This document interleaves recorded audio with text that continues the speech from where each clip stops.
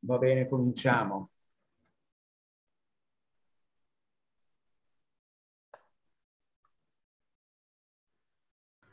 Aspetta ancora un attimo, Vittorio, che c'è tanta gente che entra. Dimmi tu, eh. Va bene.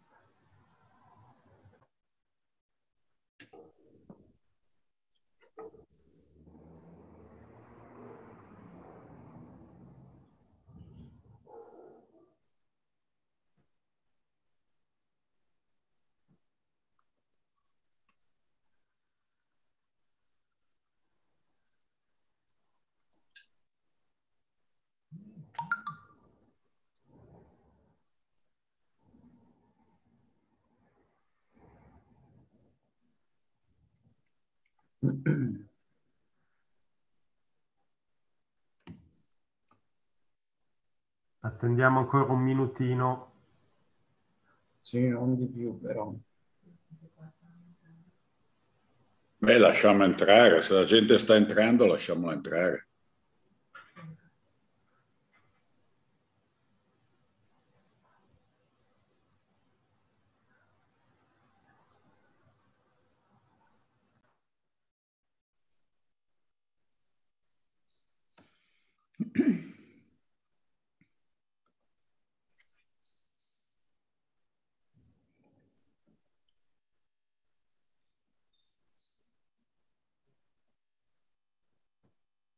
Ciao Matilde.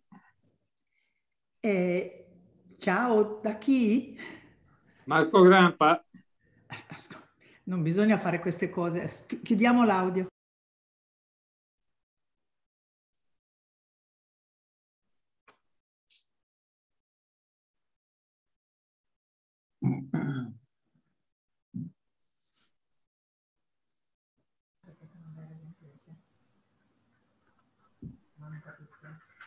Vittorio, direi che possiamo partire.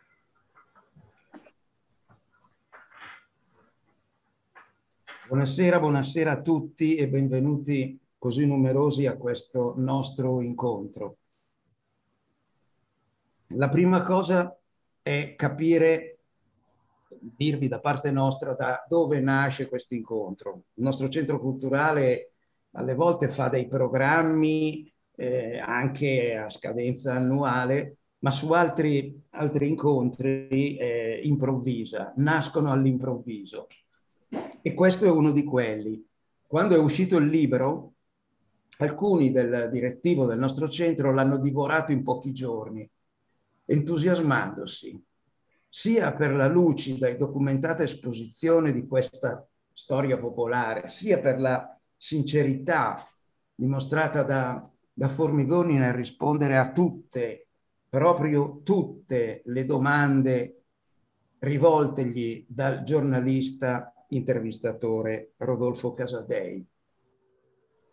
Poi arrivando alla fine di, di un libro non breve, 500 pagine, ci sono anche molte osservazioni interessanti sull'oggi, sull'oggi a livello della Lombardia, dell'Italia e di tutto il mondo, che sono raccolte nel post scriptum. Insomma, subito ci siamo detti che valeva la pena incontrarlo, anche perché, come dice il cardinal Ruini nella prefazione, questo libro parla di 60 anni di storia del nostro paese, vissuti e visti attraverso gli occhi di un ragazzo che incontra molto presto una proposta cristiana convincente, affascinante, quella di comunione e liberazione, poi diventa uomo sempre seguendo le tracce di quell'incontro e trovandosi ad assumere responsabilità in campo civile e politico via via più importanti. Ma non è la storia di un uomo solo, è anche la storia di un popolo che cammina con lui e insieme affrontano battaglie culturali e politiche, ora vincendo, ora perdendo, ma sempre riprendendo il cammino. Io di solito sono abbastanza breve nelle presentazioni. Chi, chi, frequenta, chi vede il nostro sito, i nostri incontri lo sa, ma Stasera mi devo dilungare un attimo di più perché è vero che il personaggio Formigoni non ha bisogno di presentazioni.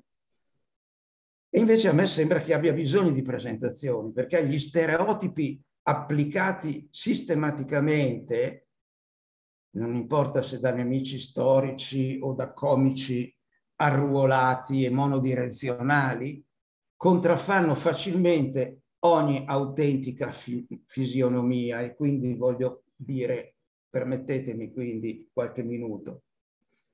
Formigoni 1947, Lecchese, nel libro parla anche della sua famiglia d'origine fino all'adolescenza, vive gli anni della gioventù studentesca della sua città e della nascita di Comunione e Liberazione nelle università di Milano, assumendo molto presto ruoli di responsabilità. Lì nasce la sua passione per la politica. Poi magari ci dirà anche qualcosa in questo senso.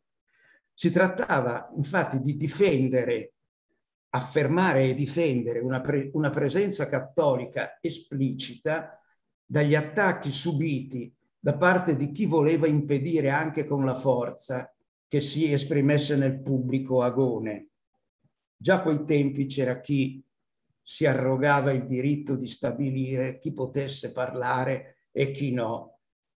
Niente di nuovo sotto il sole. Qualcuno dei nemici di un tempo, faccio un nome per tutti, Paolo Mieli, ha trovato il modo qualche decennio dopo di chiedere scusa. Battaglie contro l'avvenuta introduzione del divorzio 74, le rappresentanze scolastiche nel 75, sino a un interesse più diretto per le, per le elezioni amministrative e poi la nascita alla fine del 75 del movimento popolare di cui Formigoni diventa presidente fino al 1987. Anni di contatti, di iniziative nella società italiana e anche con tante realtà sparse per l'Europa e per il mondo. Nel 1980 nasce il meeting di Rimini e da subito Formigoni è in prima fila col gruppo che genera questo evento.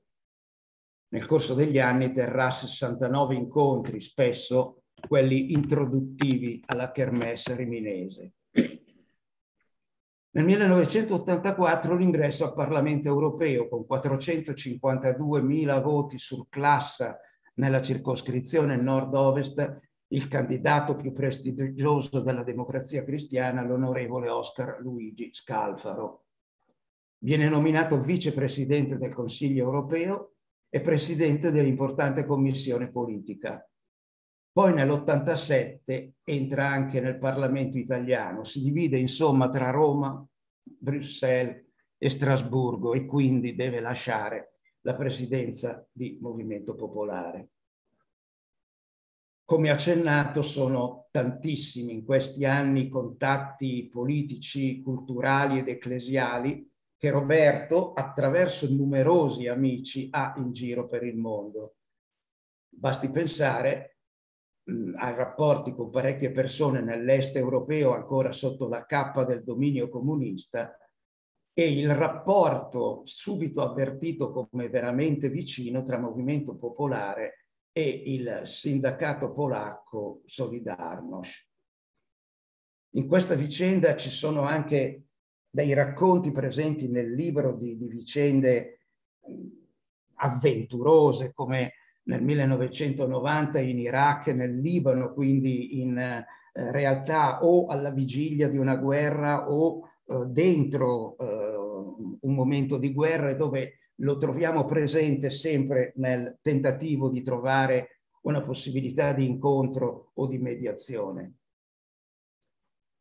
Poi nel 1992 Tangentopoli, che molti definiscono un colpo di Stato, avendo colpito tutti i partiti democraticamente eletti, tranne il Partito Comunista e una corrente della democrazia cristiana, Formigoni è tra i fondatori del Partito Popolare quando Martinazzoli chiude l'esperienza della DC, periodo che il libro definisce turbolento. Poi anche il Partito Popolare si eh, spacca e qui non stiamo a inseguire sigle, siglette dell'epoca degli anni successivi, mh, mm, che sarebbe complicatissimo, Comunque si delineano due aree che in modo molto, molto approssimativo chiameremo centrodestra e centrosinistra. Nel 93 è anche sottosegretario nel governo di Ciampi. Tutto questo per dire che Formigoni non nasce governatore della Lombardia, lo diventa nel 1995 e tale resterà per 18 anni, grazie a quattro elezioni vinte sempre con grandi margini. I temi verranno poi toccati negli, negli, nelle domande di stasera, sussidiarietà, interventi per la formazione, le infrastrutture importanti, basti pensare al Palazzo di Regione Lombardia costruito in tre anni, il presidente di Regione che all'estero non incontra solo i suoi pari, ma anche capi di Stato e di governo, i numerosi interventi su famiglia, scuola, ambiente e sanità.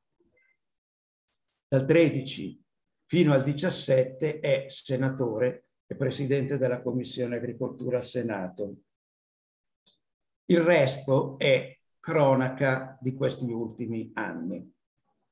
Scusate se mi sono dilungato, ma era proprio per ricordare a me stesso, agli amici, a tutti, che si tratta di un percorso davvero ampio, che non, è, che non coincide solo con gli ultimi anni o con gli anni di Regione Lombardia. A questo punto lascio la parola alla, primo, alla prima persona che gli formula la prima domanda con cui iniziamo il nostro dialogo alla fine, se avanza un po' di tempo, ci sarà modo anche per domande ulteriori rispetto a quelle che noi come centro abbiamo preparato. Grazie. Prima domanda, Carlo Zocchetti. Sì, buonasera. Eh, volevo farle questa domanda. Eh, nella sua azione politica, in particolare in eh, Regione Lombardia, è stato molto qualificante il tema della sussidiarietà allora le volevo chiedere da dove nasce la scelta di porre questo tema, la sussidiarietà, come tema dominante della sua amministrazione e quali sono le realizzazioni di questa idea che ritiene più significative? Allora, innanzitutto voglio ringraziare tutti voi, carissimi amici del Centro Culturale, per aver organizzato questo incontro e per avermi invitato. Mi fa molto piacere trovarmi con voi e poter parlare di questo libro che, come sapete, nasce per l'insistenza di tanti amici più che per una mia esplicita volontà, ma che alla fine sono soddisfatto di aver scritto con l'aiuto di chi mi ha posto una serie di domande. Qui adesso siamo di fronte ad un'altra domanda, perché la sussidiarietà è stata un tema dominante e qualificante della mia azione di governo, ma perché io ritengo la sussidiarietà il modo migliore di governare. Un governo improntato alla sussidiarietà è un governo che rende protagoniste le persone, è un governo non calato dall'alto, non in cui il dominio è della politica, ma è un governo di chi cerca di rendere le persone, le famiglie, i soggetti sociali protagonisti, chiamandoli ad una corresponsabilità. Lo scopo della politica è questo. Lo scopo della politica, io credo, è ampliare gli spazi di libertà esistenti nella società perché la gente, le persone, le famiglie, i gruppi sociali possano esprimere la loro creatività, le loro intenzioni buone, possano educare i figli secondo le loro convinzioni, possano realizzare il lavoro, dare lavoro a se stessi, ai propri collaboratori. Lo scopo della politica, insomma, non è cambiare la società, è capire che la società può essere cambiata dall'azione degli uomini ed è allargare gli spazi perché gli uomini attraverso la loro azione possano cambiare la società. Capite che questa realmente è un'impostazione rivoluzionaria rispetto alla politica tradizionale e certamente rispetto alla politica d'oggi. In questa scelta per la sussidiarietà mi ha certamente aiutato molto eh, la conoscenza e l'approfondimento della dottrina sociale cristiana, perché nell'insegnamento dei papi dell'ultimo secolo, la dottrina sociale cristiana conteneva il principio della sussidiarietà tra i suoi principi fondamentali, ma anche l'impostazione liberale fa del concetto di sussidiarietà uno dei punti fondamentali della politica, perché la sussidiarietà, come accennavo prima, è l'esaltazione della libertà delle persone, qualunque sia questa libertà. Perché, ripeto, il compito della politica è fare in modo che gli uomini, le persone, i soggetti sociali siano liberi di fare, di agire, di creare secondo le loro convinzioni, secondo le loro idealità, perché la società sarà più umana, più libera, più forte se gli uomini e i soggetti sociali potranno agire. La politica ha questo compito di aiutare, di sussidiare appunto l'azione degli uomini e delle persone. Quindi quali sono le realizzazioni che ritengo più significative? Ma io dico un po' tutte, perché in tutte le mie azioni di governo il principio fondamentale che avevo era quello di aiutare le persone ad essere protagoniste. Al ne cito talune, ne potrei citare moltissimo. Pensiamo alle, alla politica familiare. Io ho varato, io, io quando dico io parlo sempre di un soggetto plurale. C'è dentro Formigoni, ci sono dentro i suoi collaboratori, ci sono dentro tanti assessori, consiglieri regionali, amici ai quali mi rivolgo, chiedo aiuto.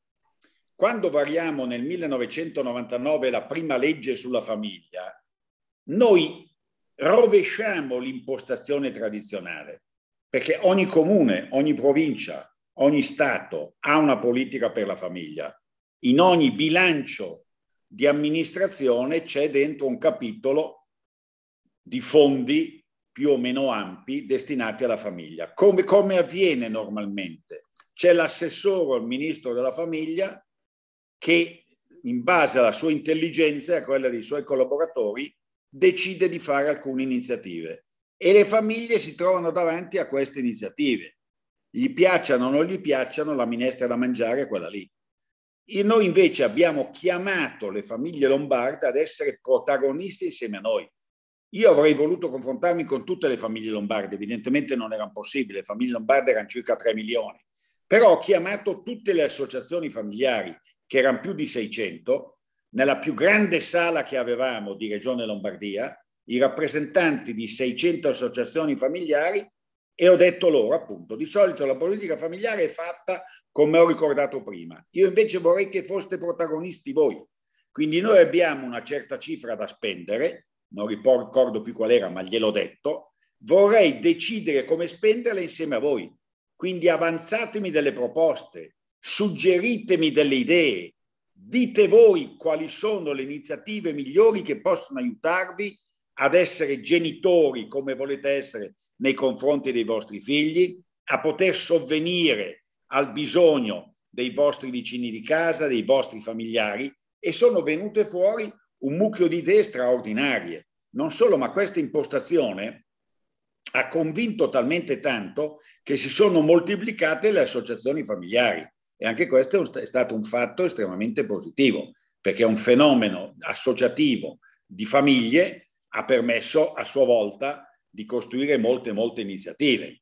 Evidentemente sussidiaria l'impostazione, la riforma che abbiamo fatto sulla sanità, perché noi abbiamo dato ai cittadini lombardi, primi e unici, la libertà di scelta. Ci abbiamo detto ai cittadini lombardi tu sei libero di scegliere il medico di cui ti fidi di più e sei libero di farti ricoverare, di farti operare nell'ospedale che ritieni più adeguato a te. Prima non era affatto così. Prima era il funzionario regionale o il funzionario statale che diceva allora tu vai in quell'ospedale, tu hai quel medico di riferimento e guai a te se pensi di non obbedire alla nostra indicazione. Se vuoi disobbedire alla nostra indicazione, scegli un ospedale privato di quelli che costano 2-3 milioni di lire al giorno di degenza, se hai la possibilità di pagartelo, sei libero di scegliere quello che vuoi. Ma se non hai la possibilità di pagartelo, obbedisci alla nostra impostazione. Io invece anche lì ho ritenuto che dare la libertà di scelta ai cittadini significasse realizzare qualche cosa di assolutamente innovativo e di cui i cittadini avevano bisogno.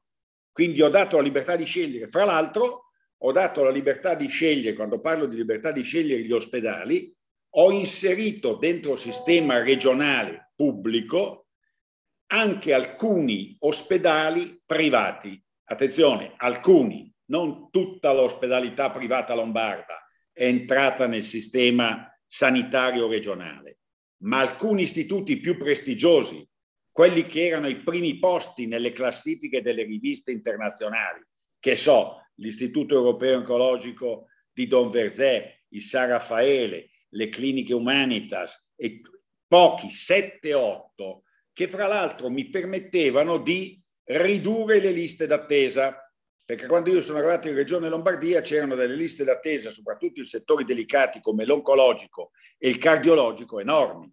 Voi sapete che se uno scopre di avere una malattia del cuore o, una, o un cancro, beh, chiede di essere ricoverato e operato e gli dicono torna tra sei mesi, il poveretto ha davanti a sé due scelte. O rischia gravemente di morire oppure vende la casa, si ipoteca eh, lui e la sua famiglia per generazioni e generazioni. Invece inserendo questi ospedali privati ho potuto utilizzare le loro specificità, erano molto forti in queste specialità e in altre specialità. E appunto la forza di Regione Lombardia, la forza dell'impostazione che abbiamo dato, ha permesso mi ha permesso di rendere gratuito l'accesso a tutti gli ospedali, a quelli pubblici come era prima, ma anche a questi nuovi ospedali privati a cui poteva andare non soltanto il ricco ma anche il povero. Ma scusate, ovviamente questa scelta ha provocato una polemica che dura ancora adesso. Le sinistre sono ancora furibonde per questa riforma che abbiamo fatto. Pensate che questa riforma l'abbiamo fatta 25 anni fa, nel 1997, però ce l'hanno ancora lì sul gozzo, la riforma sanitaria di Formigoni. Non riescono a mandare il boccone in nessuno e giù. Perché? Perché era una riforma dal grandissimo valore sociale che permetteva, torno a dirlo, anche al nulla tenente di potersi far ricoverare negli ospedali più prestigiosi. Era una riforma sociale che avrebbero dovuto far loro le sinistre che però allora come oggi sono assai poco vicini agli interessi della povera gente e più ad altri interessi, mentre invece l'abbiamo fatta noi. L'ha fatto un uomo di centrodestra, l'ha fatto un cristiano, un cattolico, per di più un ciellino e questo è imperdonabile per la mentalità dominante di allora e di oggi. Ma concludo, faccio un ultimo esempio per far capire che la sussidiarietà è un metodo. Anche quando ci siamo occupati di infrastrutture, non so, dovevamo decidere di fare alcune tratte autostradali, alcune tratte stradali.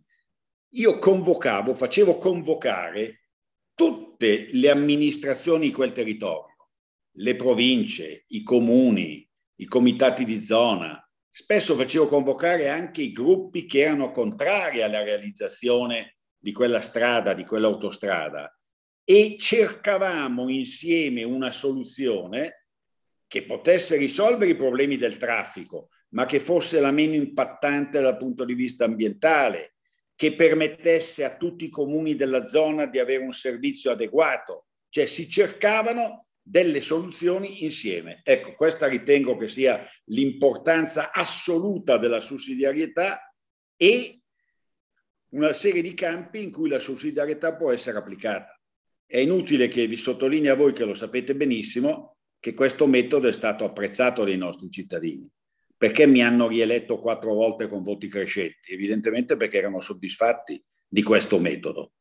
Loro non hanno mai capito molto bene perché Formigoni parlasse sempre di sussidiarietà. Ho dovuto spiegarla diecimila volte, ma sono convinto che ci sono tanti lombardi che non l'hanno capita. Però mi votavano lo stesso perché vedevano i frutti di questa sussidiarietà. Vedevano i frutti di questa sussidiarietà e per loro andava bene perché gli migliorava la loro vita. Seconda domanda, Puricelli. Buonasera. Eh, io volevo chiedere eh, se secondo lei eh, è possibile oggi affrontare la gestione complessa dello Stato, di una regione o anche solo di un comune, partendo dalla stessa visione, dagli stessi punti di partenza che l'avevano mossa a partire dal 95 nell'esperienza in regione. Eh, poi qualcosa ha già accennato parlando di sussidiarietà, però se può ampliare su qual è questa visione, quali sono questi punti di, di partenza e da ultimo se sono ancora oggi attuali e proponibili anche oggi. Allora, io ti rispondo che sono convinto che siano attuali e proponibili. Perché? Perché io quello che ho illustrato, per esempio, sulla sussidiarietà è un metodo, non sono i contenuti.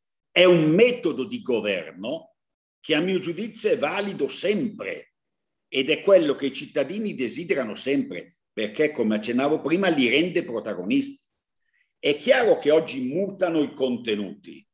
Oggi il sistema stradale, oggi il sistema eh, trasportistici di comunicazione, di formazione eh, scolastica, eccetera, eccetera. È chiaro che pongono problematiche diverse da quelle che erano 20 o 25 anni fa, ma il metodo è sempre quello, perché le esigenze delle persone sono sempre quelle. Beh, voi sapete che un'altra delle realizzazioni fatte con il metodo della sussidiarietà è stata la riforma che abbiamo fatto nella scuola, l'introduzione del buono scuola. L'introduzione del buono scuola era valida e ha suscitato gli entusiasmi vent'anni fa quando l'abbiamo realizzato e continua ad essere rimpianta oggi. Io trovo ancora quando vado in giro per le strade di Milano delle signore che attraversano la strada, vengono a salutarmi, a stringermi la mano e a dirmi Formigoni, senza il tuo buono scuola, io e mio marito non saremmo mai riusciti a mandare i nostri figli nella scuola che ritenevamo più adatta loro. È un peccato che chi è venuto dopo di te, caro Formigone, abbia prima ridotto la portata del buono scuola e poi l'abbia praticamente eliminata. Perché? Perché noi abbiamo istituito un buono scuola che praticamente pareggiava le spese che una famiglia doveva utilizzare per mandare il proprio figlio nella scuola che preferiva. Abbiamo applicato un principio che è uno dei diritti fondamentali dell'uomo, cioè che l'educazione compete alla famiglia, compete ai genitori. I figli non sono proprietà dello Stato. I figli sono delle persone libere che fin quando sono in un'età minore sono affidati alle cure dei genitori e sono i genitori che hanno la responsabilità educativa nei loro confronti. Questo valeva 500 anni fa, come 1000 anni fa, come vale adesso, come varrà nei secoli futuri. È un principio per, quale, per il quale vale la pena di combattere, vale la pena di lottare. Io mi ricordo sempre il grido di Don Giussani, quando urlava con la sua voce roca, fateci piuttosto andare in giro nudi, ma lasciateci la libertà di educare perché la libertà di educare consegnata ai genitori è uno dei più grandi diritti, è una delle più grandi libertà che va riconosciuto. E ripeto, questo era vero allora come è vero oggi. Le modalità possono cambiare, ma i punti di partenza non possono che essere, credo, gli stessi. Così come quando abbiamo affrontato, abbiamo affrontato, abbiamo fatto qualcosina per combattere la piaga dell'aborto.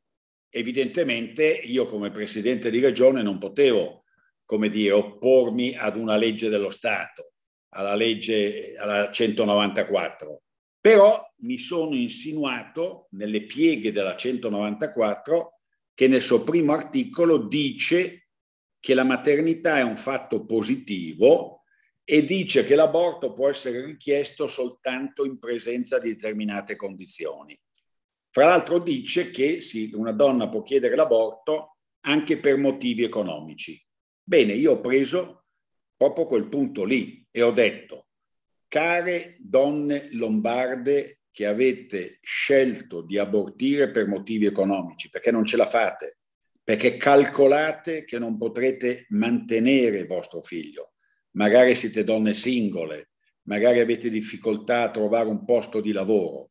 Bene, io come Regione Lombardia voglio venire incontro a questa vostra esigenza e quindi, se voi siete d'accordo, perché spetta a voi la scelta, se voi siete d'accordo e volete vostro figlio, la Regione Lombardia vi viene incontro con un aiuto economico.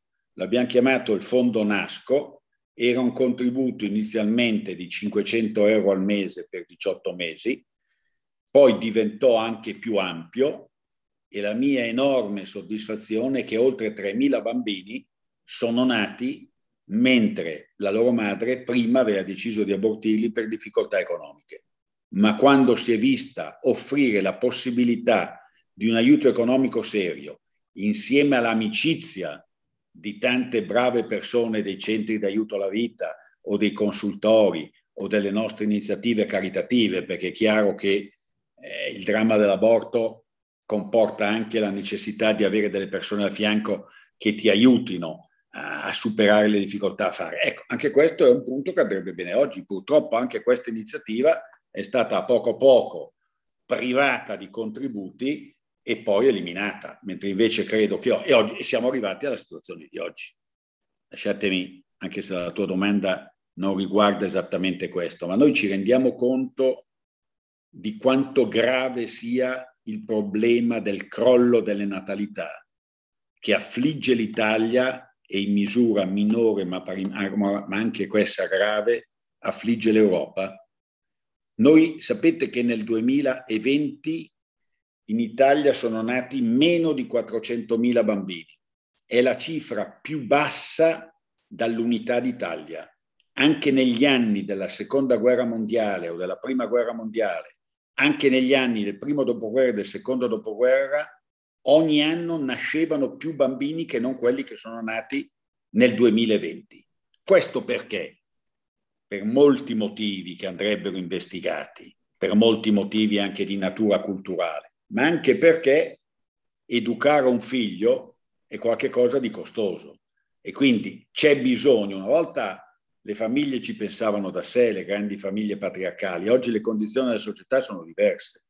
Oggi gli stati hanno, a mio avviso, il dovere di realizzare delle politiche familiari, di aiutare chi vuol mettere al mondo dei figli a poterlo fare senza doversi vendere la casa o senza dover affrontare delle condizioni economiche assolutamente disastrose. Quindi c'è bisogno anche di un aiuto economico, questo compete allo Stato, ma anche questo qualcosa abbiamo fatto in Regione Lombardia come aiuto alle famiglie numerose, come aiuto alle famiglie meno abbienti, come aiuto alle famiglie, come valorizzazione culturale. Innanzitutto bisogna aiutare, è un processo culturale, aiutare a rivalutare il fatto di mettere al mondo dei figli e aiutarli anche dal punto di vista economico. Ho svariato un po', però credo di aver dato complessivamente una risposta alla tua domanda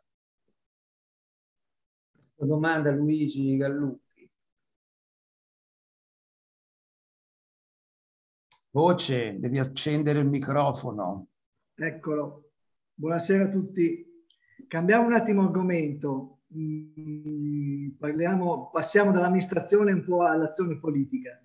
Nel libro si parla, si dedica ampio spazio alla, alla storia del movimento popolare eh, che ha contribuito a far nascere stato, di cui è stato anche presidente. Nel 93 è stato sciolto questo movimento. Eh, lei dice che mh, era contrario allo scioglimento, che si è sentita e si sente tuttora la mancanza di un soggetto secondo lei sente questa mancanza. Ma uh, considerato che il Movimento Popolare non era né un partito né una corrente di partito, uh, quali potrebbero essere le caratteristiche oggi nell'attuale situazione politica e contesto sociale, le caratteristiche di, una, di, un, appunto, di un, movimento politico come uh, Movimento Popolare?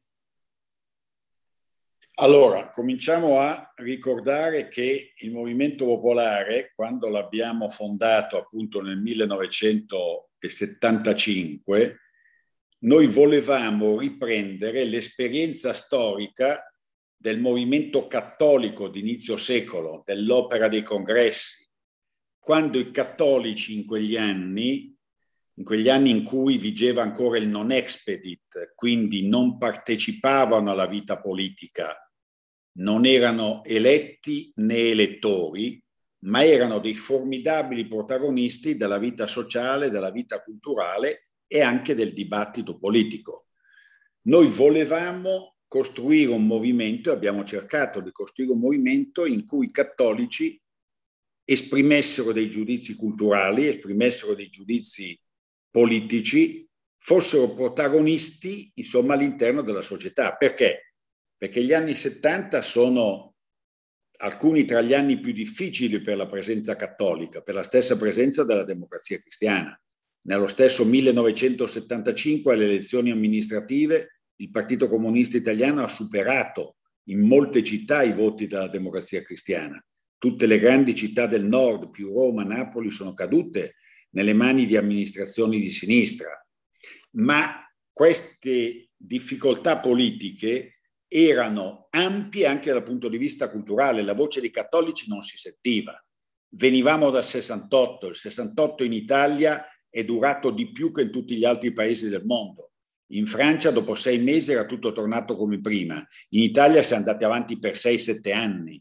Dal 68 sono nati movimenti contestatori, avanguardia operaia, lotta continua, quelli, quelli che ci menavano in università, che volevano impedire l'agibilità politica a Comunione e Liberazione, che era l'unica presenza non marxista-leninista all'interno dell'università. E poi è nato il terrorismo, sono nate le Brigate Rosse, prima linea, eccetera, eccetera. Quindi era un momento estremamente difficile, la voce dei cattolici non si sentiva.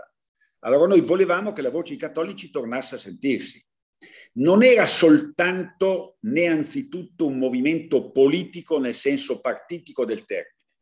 Noi abbiamo dato vita a centri culturali, per discutere di cultura, per discutere eh, di quello che capitava nel mondo. Abbiamo dato vita a scuole popolari, abbiamo dato vita a cooperative, cooperative di consumo per, per aiutare le famiglie a rispondere alle esigenze della spesa quotidiana spendendo di meno, oppure per aiutare i nostri amici del sud. Qualcuno di voi ricorderà per esempio le arance di Alcamo, i nostri amici di Alcamo in Sicilia che producevano delle splendide arance non riuscivano a venderle, non riuscivano a commerciarle. Allora con un sistema di trasporto le portavamo al nord e le vendevamo al nord a prezzi inferiori a quelli di mercato, ma che per loro erano, erano sufficienti per continuare, per allargare la loro iniziativa. Ecco, il Movimento Popolare era questa realtà culturale e sociale che evidentemente si occupava anche di politica, perché la politica non è qualcosa di staccato dalla cultura e dalla socialità. Anzi, in quell'epoca citavamo la famosa definizione di Pio, XI che disse la politica è la forma più alta di carità. Quindi ci sentivamo chiamati anche ad un impegno in politica. Alcuni di noi, parecchi di noi, entrarono in democrazia cristiana, qualcuno era già entrato qualche anno prima, nel 1975 ci fu in qualche modo un ingresso molto consistente numericamente, Nel 75 alle elezioni amministrative si candidarono 150 circa nostri amici, in Lombardia noi eleggemmo 121 tra sindaci, assessori, consiglieri comunali e poi negli anni successivi ancora di più. Nel 76 eleggemmo quattro deputati, diretta espressione del nostro movimento, ma appoggiammo anche l'elezione di altri deputati perché l'obiettivo nostro non era di fare un movimento popolare di CLini, non era fare la coppia di CL, c'era già CL, era allargare il più possibile. Difatti entrarono nel movimento popolare con noi tanta gente che non aveva l'esperienza di CL, ma che erano cristiani che condividevano la nostra visione, oppure anche gente che non era cristiana, ma che era preoccupata delle sorti della democrazia. Ecco, questo movimento popolare, io mi ricordo, tanto per citare l'ultima, l'ultimo, l'ultimo aneddoto, nel 76 eh, ci impegnammo fortemente nella campagna elettorale a favore della democrazia cristiana, la quale si riprese, non soltanto per merito nostro evidentemente, però distanziò di quattro punti e mezzo il Partito Comunista.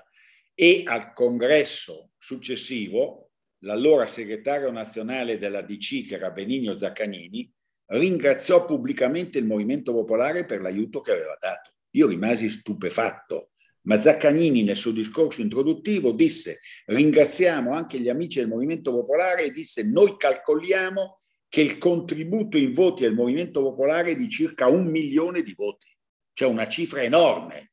Evidentemente non erano tutti i voti di militanti del Movimento Popolare, ma cos'era successo? Che la nostra azione aveva risvegliato, aveva scosso molti cattolici, molti cristiani, molti democratici e li aveva spinti a riprendere un impegno politico, un impegno sociale e a votare democrazia cristiana. Bon, veniamo oggi. Che cosa capita oggi? Che cosa è capitato in tutti questi anni, ma soprattutto da quando ho scritto questo libro? Che tanta gente mi telefona e mi dice, Formigoni, ma non, non, non, non dovremmo rifare il movimento popolare? Non dovremmo rifare appunto con le stesse caratteristiche, quindi un movimento di cristiani e non cristiani che vuole essere protagonista sociale e politico della nostra società, che vuole rimettere insieme quelli che la pensano in un certo modo, quelli che danno il primato alla sussidiarietà, cioè il primato alla persona e il primato alla famiglia. Io la domanda la rimbalzo a voi. Voi cosa ne dite? Bisogna rimettere in piedi il movimento popolare. Io la rimbalzo a quelli che me la fanno anche perché ricordo un dato anagrafico. Quando io fondai il Movimento Popolare insieme agli altri amici, io avevo 28 anni, oggi ne ho qualcuno in più. Non è necessario essere ventottenni, però ci vogliono delle energie, ci vuole dell'impegno. Io credo che sarebbe utile e necessario per l'Italia, perché la voce dei cattolici si fa fatica a sentire, si fa fatica a sentire la voce dei cattolici su tantissimi argomenti i cattolici sembrano timidi, sono timidi.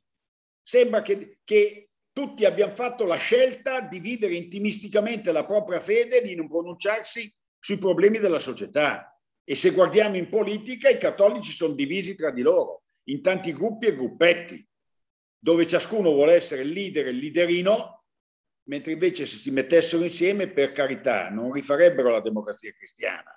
Certamente non rifarebbero la democrazia cristiana, però farebbero forse qualcosa di più consistente dei mille frammenti che oggi ci sono e che sono inincidenti. Al termine di questa domanda, eh, di questa riflessione sul movimento popolare, mi è caro ricordare il primo presidente qui a Gallarate del Movimento Popolare, che è stato poi anche il primo presidente di una cooperativa di consumo che a suo tempo esisteva. E lo cito Giorgio Costacurta perché, come molti di voi sapranno, l'altro ieri, no, ieri, abbiamo celebrato le sue esequie. E quindi è un pezzo di questa storia anche lui. Quarta domanda, Francesco. Eh, buonasera, eh, una domanda più personale se vogliamo. A pagina 213 del libro lei parla di una svolta nello stile di lavoro dentro la regione quando lei arriva, appunto, quando viene eletto la prima volta. Dirigenti e funzionari, eh, secondo quello che dice nel libro, erano demotivati eh, e vengono invece coinvolti in una nuova prospettiva di mentalità di lavoro. La domanda è che cosa è successo, che cosa ha cambiato le cose? Ha cambiato le cose proprio il fatto che arriva, beh, dunque, la demotivazione dipendeva dal fatto che gli anni precedenti, la legislatura regionale dal 90 al 95 era stato un caos unico, c'era stata Tangentopoli, c'era stata Mani Pulite, si erano succeduti cinque governi diversi, la qualità di governo della regione Lombardia era scaduta molto, quindi anche molti, molti, alcuni diversi funzionari e dirigenti di Regione Lombardia erano scappati, erano andati nel privato, non pensavano che si potesse più tornare ai tempi belli. Arrivando lì, io, i miei amici e i miei collaboratori invece gli abbiamo detto, ragazzi, eh, io non applico lo spoil system, cioè io non caccerò nessuno di voi perché ha idee politiche diverse dalla mia non chiederò a nessuno di voi di iscriversi al mio partito, alla mia corrente. Una cosa vi chiedo, di condividere il programma del, di costruzione della regione Lombardia, perché questo dovete farlo, perché è il programma che è stato approvato dalla maggioranza dei cittadini e quindi questo è il programma che obbliga me innanzitutto a realizzarlo, ma chiede anche a voi che siete dipendenti regionali o, dirigenti di realizzarlo. Io sarò con voi, io sarò al vostro fianco.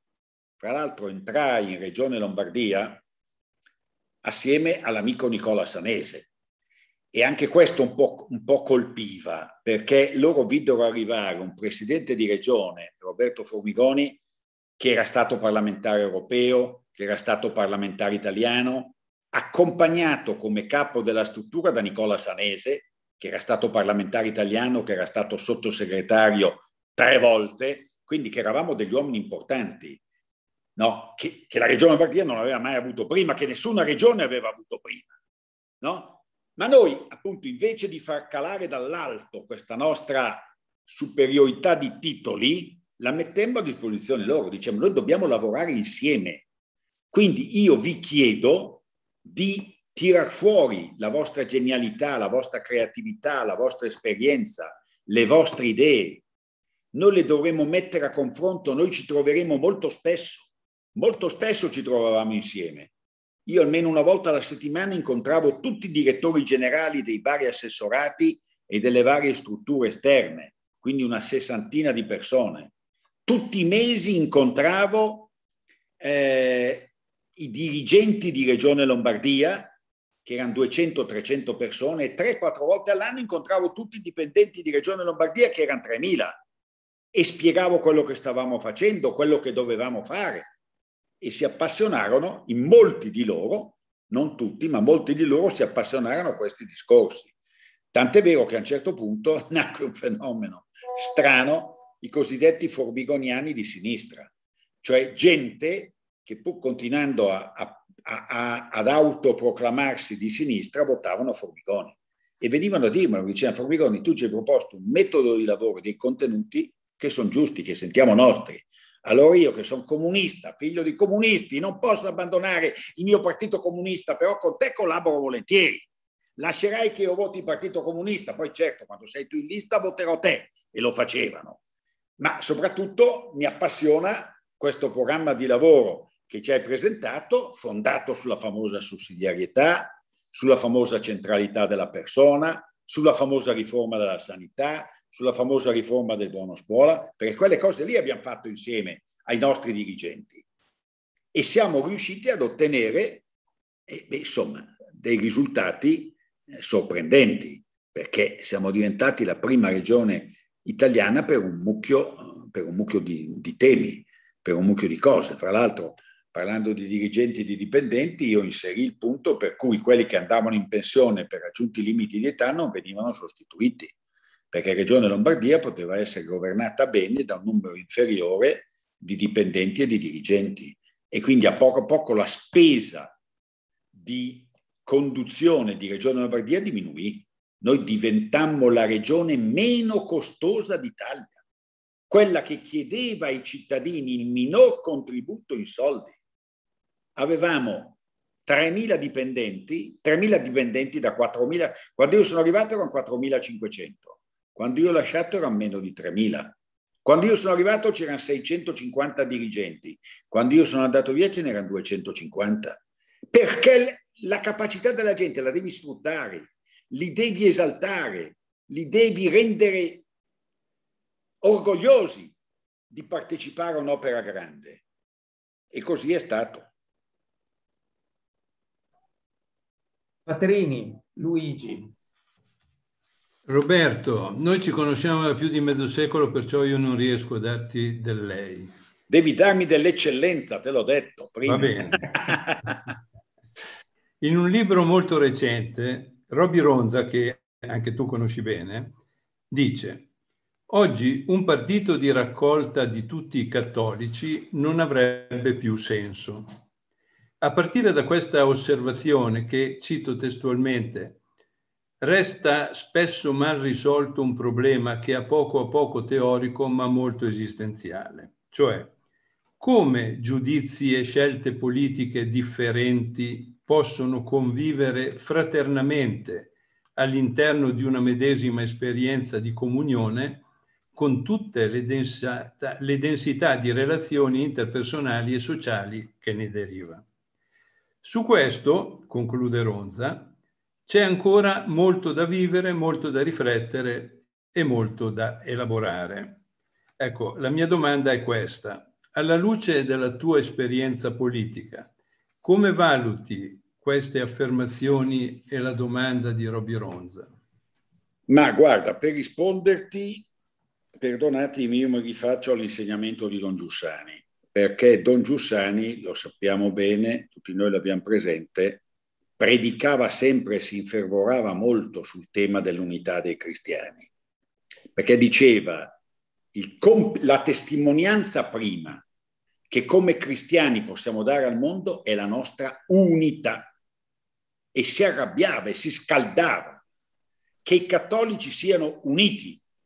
Io mi rivolgo, Luigi, a te e a quelli che hanno la nostra età e anche un po' più giovani. Vi ricordate il brano della lettera di Orneto che leggevamo 50 anni fa, dove i cristiani vengono iscritti erano quelli che si radunavano sotto il portico di Salomone, in quel posto lì.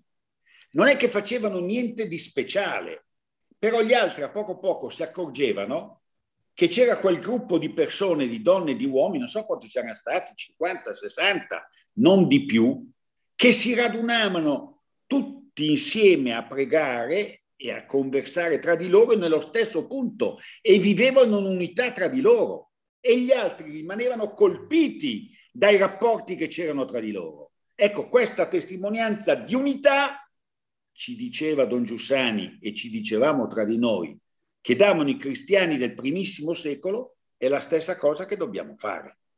Allora, Don Giussani l'ha sempre praticata, questa unità, e diceva questa unità non è soltanto nelle cose della fede, non siate dualisti, perché la fede riguarda tutta la vita. Non è che la fede riguarda sul fatto di essere d'accordo sulla Santissima Trinità. È chiaro che dobbiamo essere d'accordo sulla Santissima Trinità, perché se uno non è d'accordo vuol dire che non è cristiano. Ma non è che siamo chiamati ad essere una cosa sola soltanto sulle vicende del catechismo, ma anche sulle vicende della vita concreta. E io mi ricordo, forse ti ricordi anche tu, la prima volta che eh, radunò in via, in via Riosto al circolo Peghi, perché si avvicinavano le elezioni del 1971 e lui e molti di noi avevano compiuto 21 anni e avrebbero votato per la prima volta alle elezioni politiche.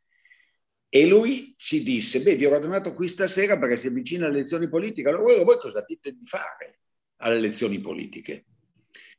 tutti noi eravamo sotto l'influsso del 68, dove tutti i giorni litigavamo con gli extraparlamentari, però il clima dominante nella società italiana era tutto pro sinistra, pro marxisti, eccetera, eccetera. E lui disse, amici, anche in politica dobbiamo dare l'esempio dell'unità. Prima di tutto perché lo chiede la gerarchia, perché allora la gerarchia, qualche volta direttamente il Papa, qualche volta la CEI, chiedeva che i cristiani perlomeno fossero uniti nel momento elettorale.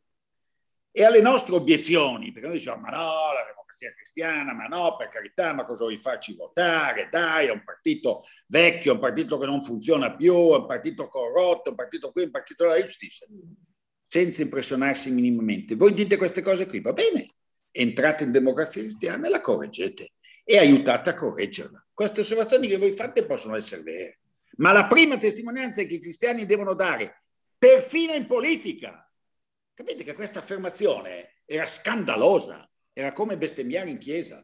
Beh, io credo che questa affermazione che Giussani fece nel 1971, che del resto avrebbe ripetuto anche dopo, quando venne il referendum sul divorzio, tre anni dopo, nel 1974, noi tutti pensavamo che il modo migliore per testimoniare l'unità della famiglia non fosse fare un referendum.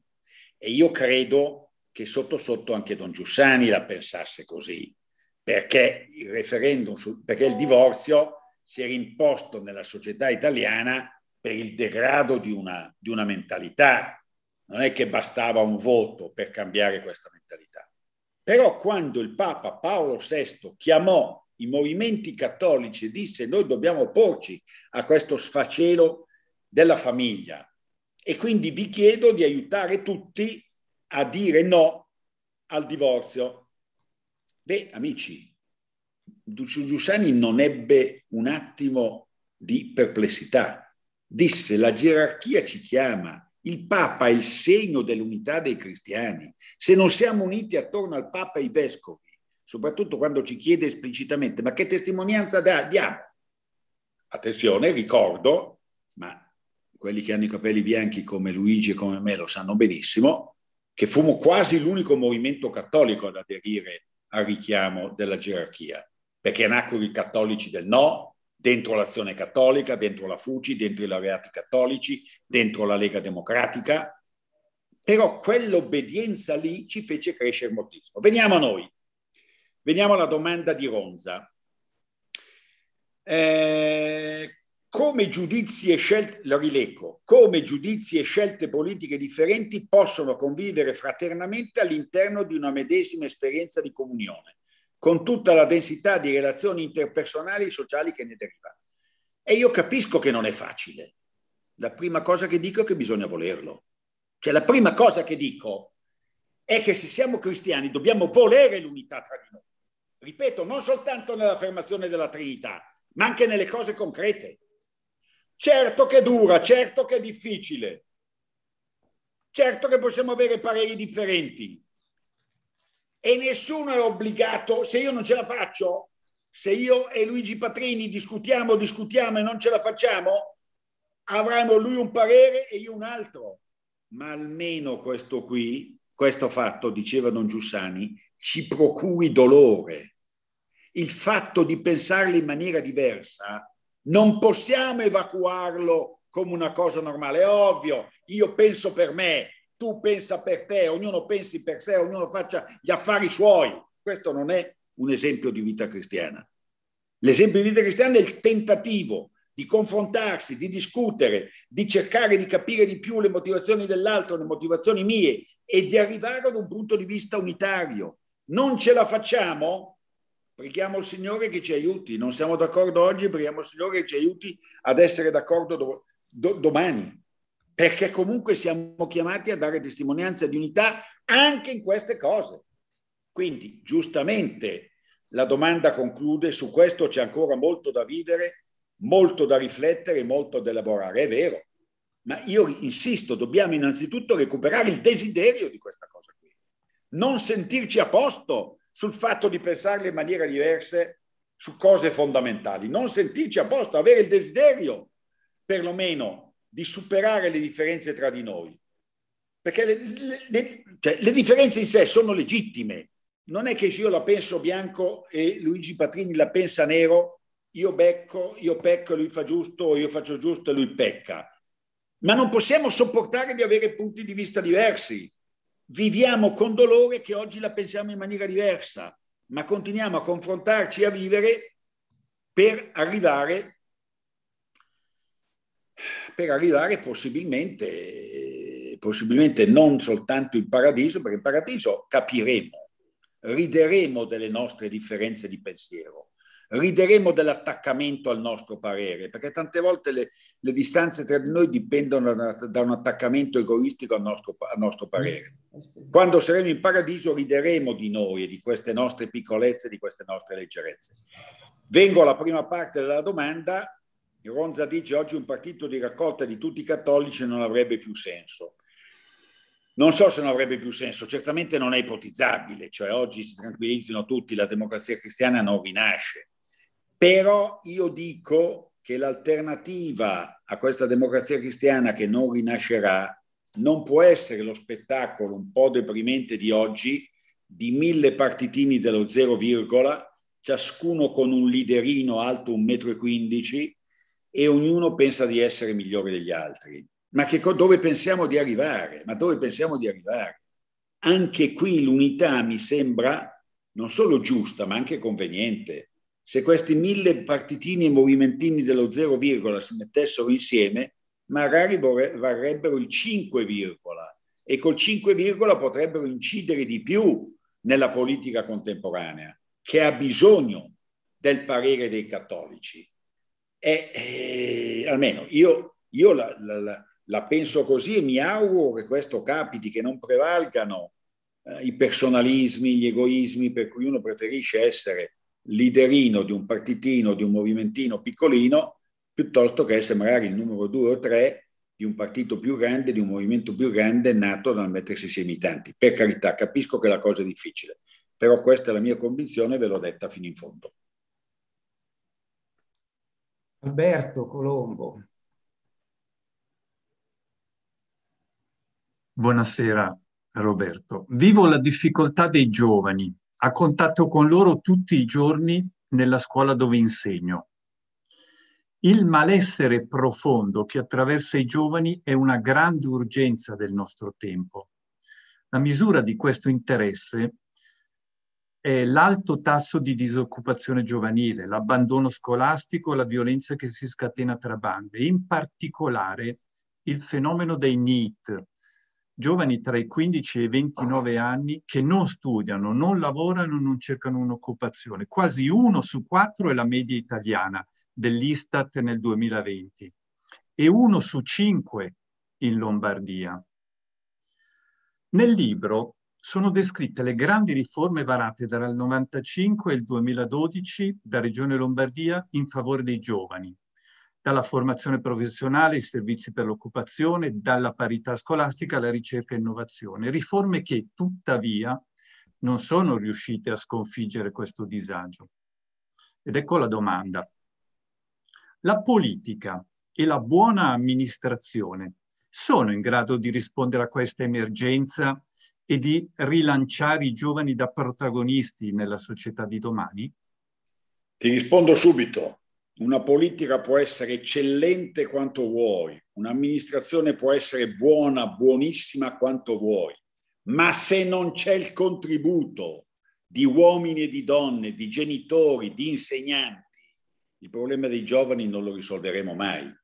L'ho accennato all'inizio di questa serata. Il compito della politica non può essere quello di risolvere i problemi. La politica darà una mano a risolvere i problemi ma chi cambia le cose è l'azione degli uomini, è l'azione delle donne che abbiano degli ideali, che abbiano delle convinzioni. Alla politica io ho chiesto sempre, l'ho detto sempre, chiedo alla politica di ampliare gli spazi di libertà per l'azione degli uomini e delle donne, perché gli uomini e le donne di buona volontà abbiano più libertà, magari più mezzi, più sostegno, più spinta per cambiare le cose. Quindi certamente alcune delle riforme che abbiamo fatto per i giovani o che si possono fare per i giovani danno una mano, ma non saranno mai risolutive, decisive, se non ci sarà un'azione della società tutta intera o di gruppi di persone all'interno della società. I giovani hanno bisogno di trovare maestri, i maestri sono delle persone, non sono delle politiche. I maestri sono delle persone. Le politiche possono aiutare i maestri ad avere più libertà d'azione, ad avere qualche mezzo in più per poter parlare con i giovani, convincerli, accompagnarli, essere loro vicino, aiutarli. Quindi Oggi il problema, ancora, anche qui si, pone, si ripone il problema del movimento popolare. Ci vorrebbe un movimento di insegnanti, un movimento di genitori, ci vorrebbero gruppi, se non un movimento, gruppi di insegnanti che si aiutano tra di loro ad affrontare i problemi dei giovani, a scambiarsi esperienze. Ci vorrebbero gruppi di genitori che si preoccupano dell'educazione dei figli, non soltanto dei loro figli, ma anche dei figli degli altri. E certo ci vorrebbe una politica che aiuti, che sussidi questi gruppi di insegnanti e questi gruppi di genitori.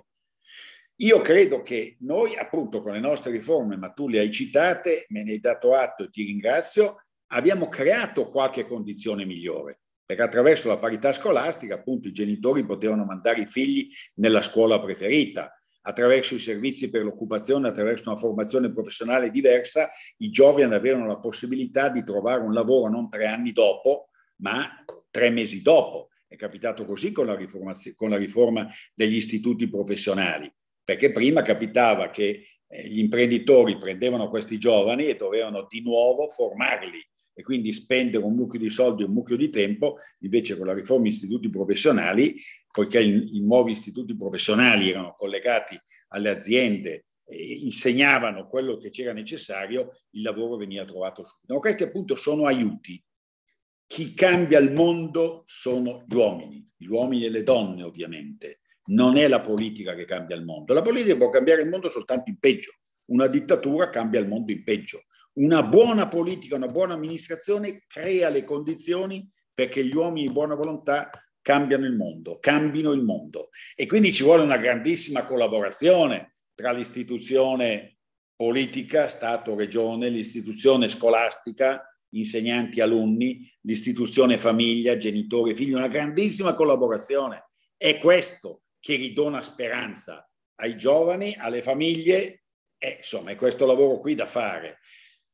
Io credo che noi tutti ne siamo convinti, bisogna, bisogna prendere coraggio in questa direzione, bisogna fare di più, bisogna aiutarci di più a fare queste cose qui, perché oggi il mondo è veramente conciato male, oggi l'Italia è veramente conciata male a questo punto. Le cifre che tu hai citato, i giovani net, quelli che non hanno né lavoro né voglia di lavorare, la politica del divano, il diritto di divananza, queste cose folli che, sono, che stanno corrompendo una generazione, che stanno corrompendo una generazione. Sono cose che dobbiamo combattere anche alleandoci con chi non è cattolico, ma chi ha queste idee giuste. Bene, adesso c'è spazio per qualche domanda che può essere rivolta anche da coloro che sono intervenuti prima, magari vogliono rivolgere una seconda domanda a Formigoni oppure anche da parte di tutti quelli che sono in questo momento collegati.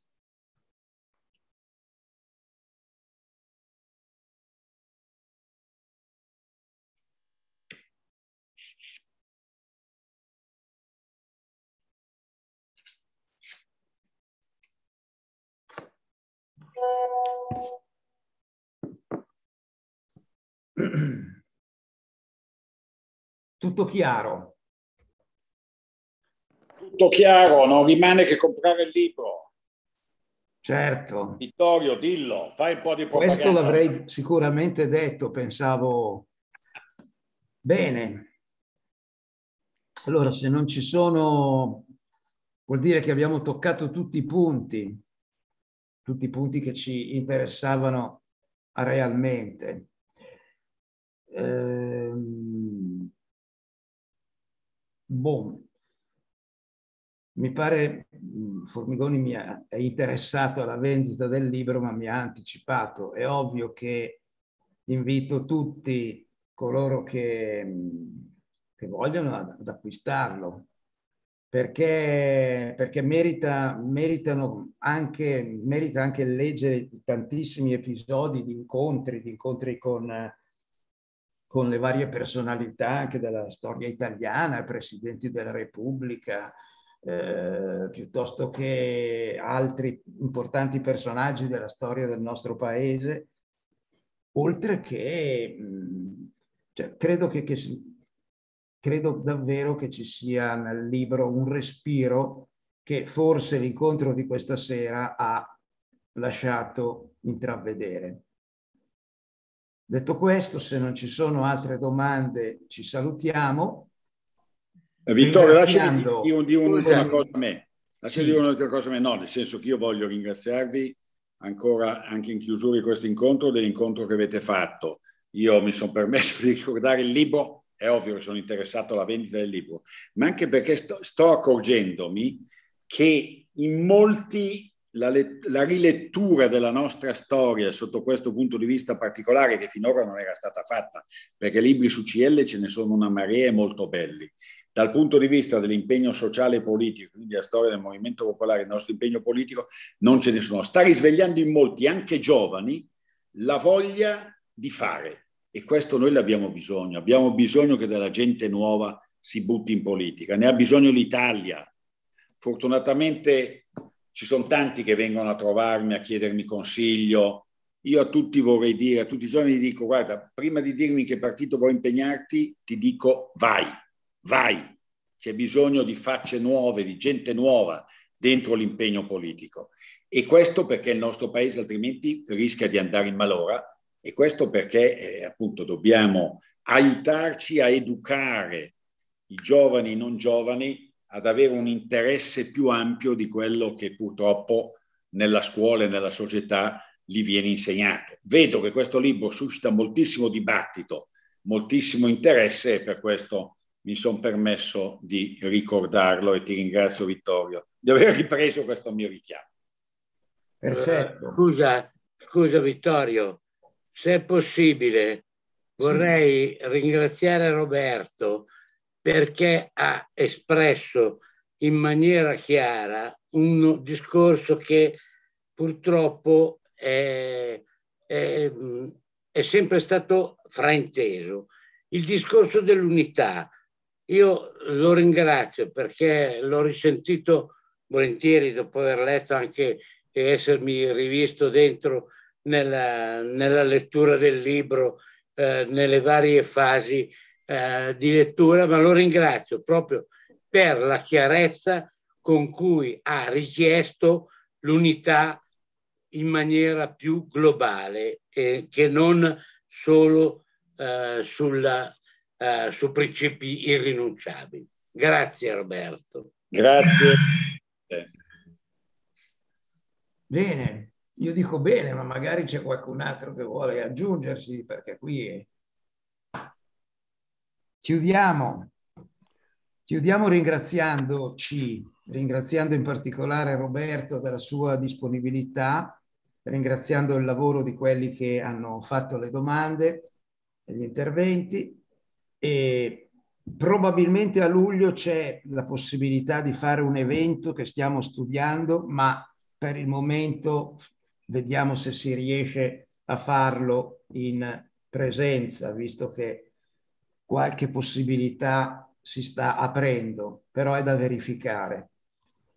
E poi a settembre ci sarà una mm, mostra che vede, vedo qui i volti di alcune persone che la stanno costruendo, una mostra non di quelle importate dal meeting o da altre realtà, ma totalmente costruita qui da noi sul tema dei corredi delle famiglie e quindi su un tema di storia locale che per quel che sto vedendo e intuendo è eh, molto stuzzicante, però ne parleremo di più la prossima volta. Grazie a tutti e buona serata. Ciao. Ciao.